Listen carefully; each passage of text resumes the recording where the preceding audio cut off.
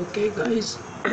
Okay guys in today's video i'll be showing you how to install the google assistant present in the nexus in the next in the pixel series that is the google pixel series in your android marshmallow phones.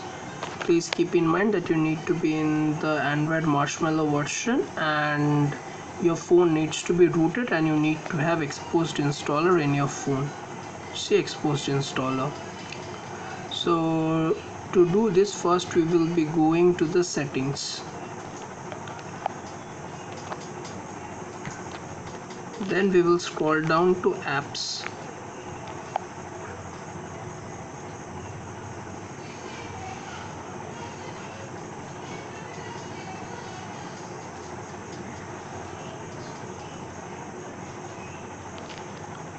In apps we will first go down to just one second we will go down to google app and then we will force stop it and then go to storage. In storage we will just click on clear all data. Upon clearing all data we will then go back and just one second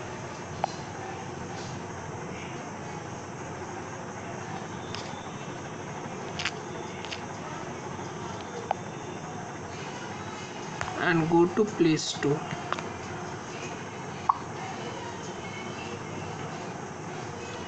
In play store we will first go to google now.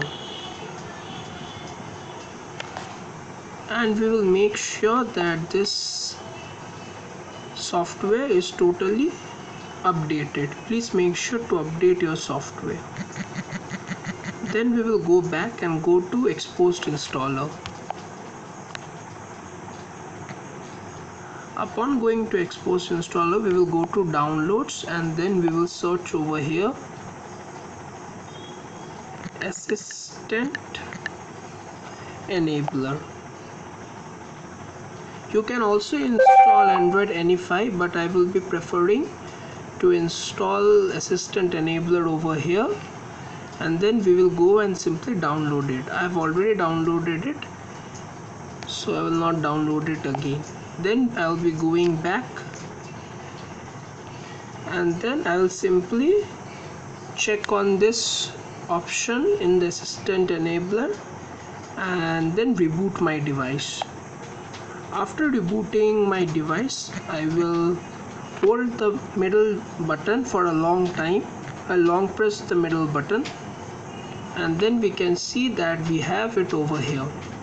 That is the Google Assistant of the Pixel launch of Pixel phones. For the Nougat version you need to change the build.prop of the of your phone. However I do not have a Nougat phone uh, and so I will not be able to show you this. So I hope you like this video and if you do please do like share and subscribe